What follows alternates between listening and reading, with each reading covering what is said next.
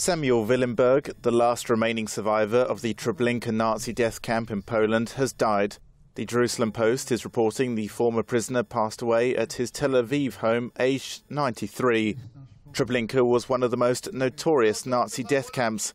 According to Israel's Holocaust Memorial, more than 800,000 Jews were killed there.